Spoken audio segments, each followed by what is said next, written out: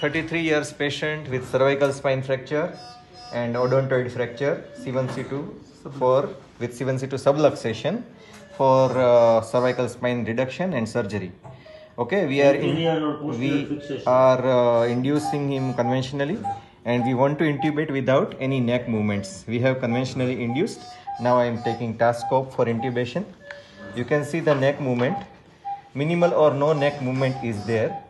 Okay, this we can visualize the epiglottis and larynx.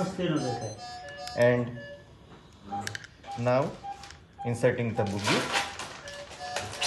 Okay. the bougie has entered into the larynx.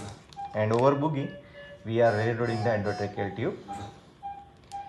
So practically there is no neck movement during intubation with tascope for this patient which is very important for anesthesia purpose not to harm any not to give any harm to the patient. Thank you